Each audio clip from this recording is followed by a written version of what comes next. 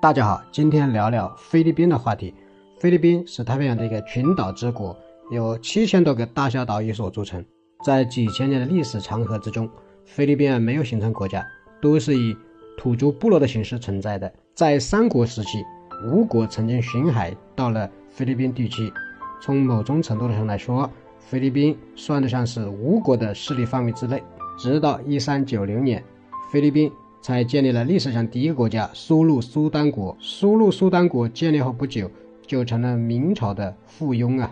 一四一七年，苏禄国的国王，呃，到明朝朝见永乐皇帝，在归国的途中因病而亡啊，葬于德州境内。一四五零年，阿拉伯人在菲律宾建立了伊斯兰国家。一五六五年，这个西班牙人来到了菲律宾。打败了阿拉伯人以及当地的土著，把这里变成了殖民地。西班牙人在菲律宾统治了三百年，菲律宾这个国家的名字就来自于西班牙国王菲利普。不过，西班牙的殖民统治仅限于菲律宾的北部和中部，而没有及于南部。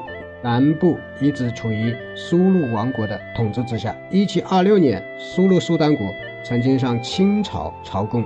后来，因为这个苏禄国向这个清廷朝贡的必经之路啊，被这个西班牙占领了、截断了，所以苏禄国与清廷的藩属关系才中断了。一八九八年，美国与西班牙之间发生了大战，当时美国的国力正处于蓬勃上升的阶段，而西班牙则处于日薄西山的衰落阶段。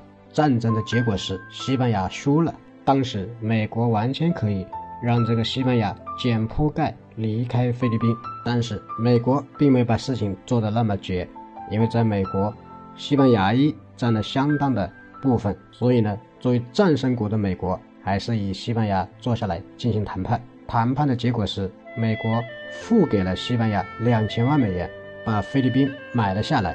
两千万美元买菲律宾这么一个二十九万平方公里的岛国。对于擅长低价买地的美国来说，是相当不划算的。之前美国买这个阿拉斯加，一百多万平方公里也才花了七百二十万美元，这次花两千万美元买这二十九万平方公里，等于给足了西班牙面子。为了卖一个高价，西班牙在出售的时候也耍了一个花招啊，把他并没有统治到的南部地区也划给了美国。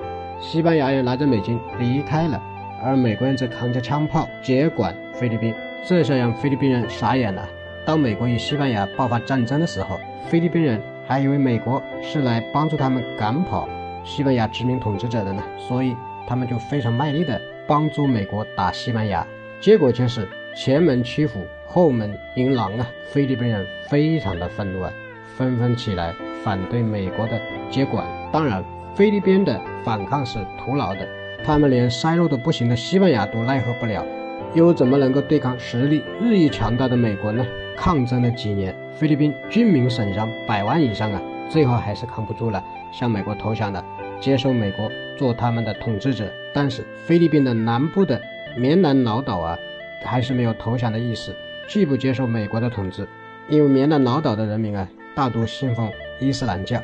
这个时候，美国颁布了一个新的土地政策，凡是北方的天主教徒啊。移民到棉兰老岛，都可以免费获得一定数量的土地。这个政策颁布之后，受到很多天主教徒的拥护，许多家庭移民到棉兰老岛，使得棉兰老岛的伊斯兰教徒从多数变成了少数。通过宗教和军事两大手段，美国终于控制了棉兰老岛乃至菲律宾全境。美国既然统治了菲律宾全境，怎么没有把它变成第五十一个州呢？后来怎么又让这个菲律宾独立了呢？这是有几个因素所导致的。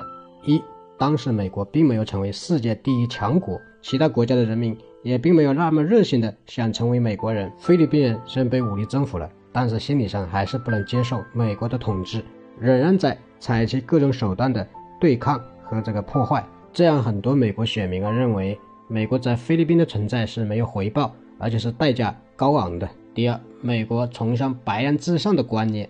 菲律宾虽然土地不多，但是人口相当的稠密，与美国本土的人口差不了多少。如果把菲律宾变成美国的一个州，那么就会大大的降低白人在美国的数量优势。